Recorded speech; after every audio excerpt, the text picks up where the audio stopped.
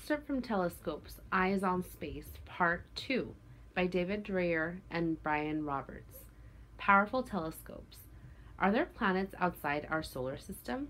What are stars made of? Is there a black hole at the center of the Milky Way galaxy?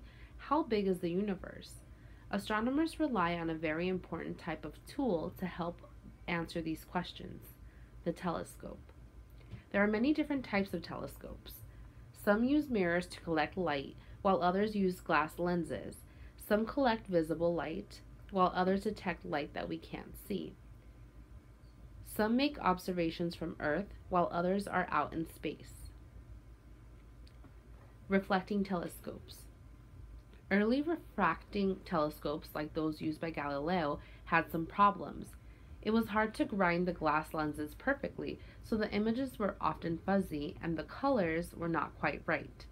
In 1668, Isaac Newton invented the reflecting telescope.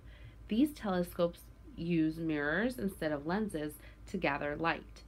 In a refracting telescope, light from the object travels to the telescope and reflects or bounces off a curved mirror. The curved mirror focuses light to a small point, where there is another smaller mirror. The light then bounces off that mirror and travels to the eye. Most large modern telescopes are reflecting telescopes. Increasing the size of telescope's mirror usually leads to a more powerful telescope. Bigger reflectors gather more light.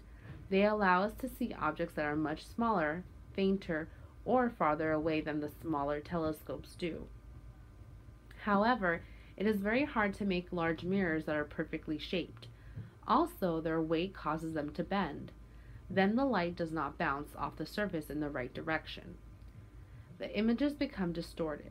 To avoid this problem, engineers often make mirrors that are actually many smaller mirrors put together. The large mirror of the South African Large Telescope is made of 91 mirrors, each of which is 1.2 meters, 4 feet across. Together, they make a mirror that is 11 mirror, meters, 36 feet, by 9.8 meters, 32 feet. It can help us see objects that are 1 billion times fainter that way you can see when you look at the sky. Another way to avoid extra large mirrors that can bend is to build several identical telescopes close to each other and combine the light from them. This is called a telescope array.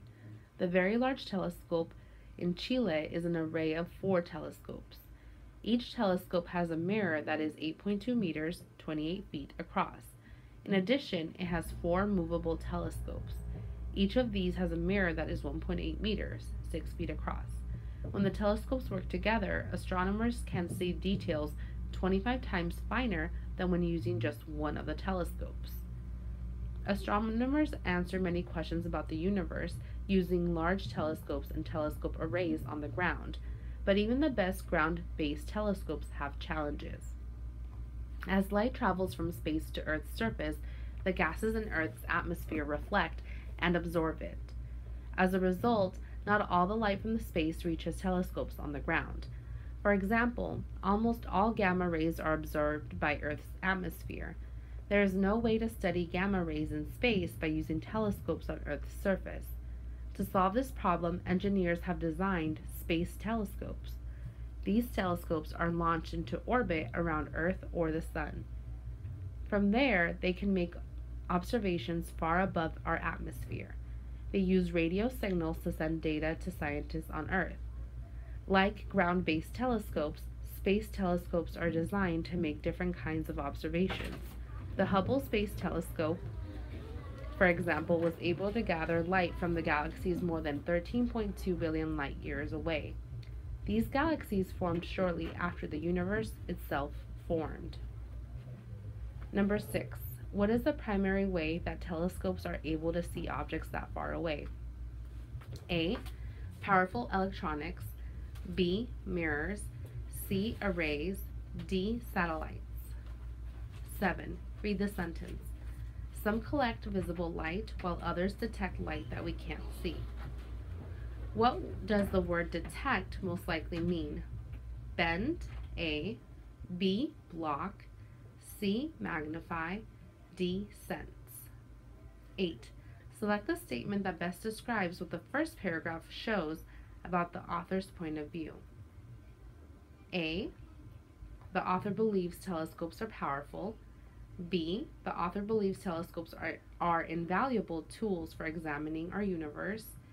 C. The author believes telescopes are com- complicated inventions. D. The author believes everyone should use telescopes to answer questions about our universe. Number 9. Read the sentences. Circle the underlined word or phrase that best helps the reader understand the meaning of the word launched. For example, almost all gamma rays are absorbed by, absorbed by the Earth's atmosphere. There is no way to study gamma rays in space by using telescopes on Earth's surface. To solve this problem, engineers have designed space telescopes. These telescopes are launched into orbit around the Earth or the Sun. From there, they can make observations far above our atmosphere. They use radio signals to send data to scientists on Earth. Like ground based telescopes, space telescopes are designed to make different kinds of observations. 10. Read the sentence. Increasing the size of a telescope's mirror usually leads to a more powerful telescope. What does the use of the word powerful tell the reader? A. Large mirrors make larger telescopes. B. The larger the mirror, the stronger the telescope. C. The larger the mirror, the greater the distance of the telescope can see. D. The lar- larger mirrors help telescopes see bigger objects.